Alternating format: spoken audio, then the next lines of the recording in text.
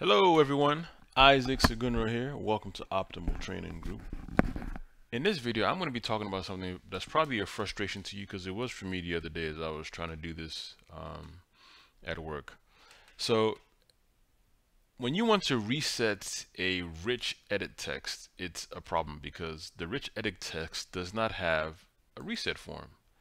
So I learned this from, I learned how to reset fields from um, Reza Dorrani He's great at Power Platform. You should look him up. As you can see, you what you do is you create a variable reset and you call it clear form and you you add that you bind it to the reset property of that particular field and then for your reset button you do set var clear form true and then false and then it, it resets so for example if I do this even even for it even works for an attachment as well and I reset as you can see it resets. But when you do it for a the the regular the regular multi-line of text it, it does have a reset so you can definitely do it for that. Um, the problem is when you turn when you turn this into a rich um, edit a rich text field control it becomes a problem. So let's go ahead and do that. Let's come here justification expand this see control type. Click on a drop down. If I scroll down to rich text edit rich text. Once I do that you would notice that the reset property is disappeared. It's gone. It's no longer there for whatever reason. I don't know why Microsoft or the Power Apps team did, why they didn't add that.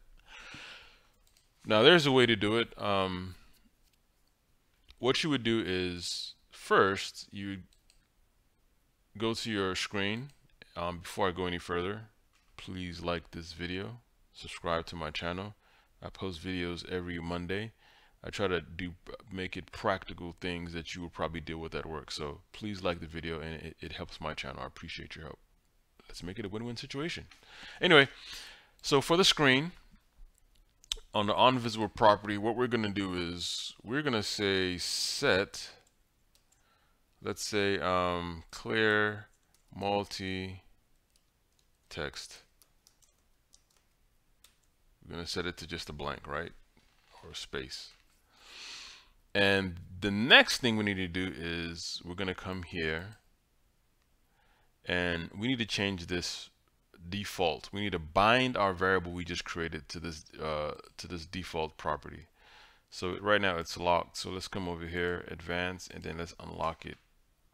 And then we can say um, var, oh, what did I call it? Clear?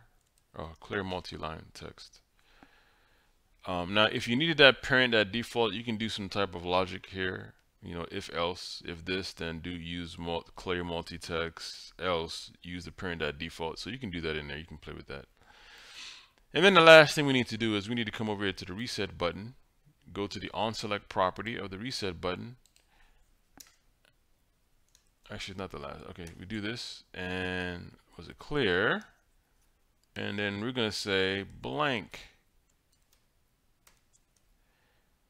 Um, and I lied but let me show you what's gonna happen. So if I do this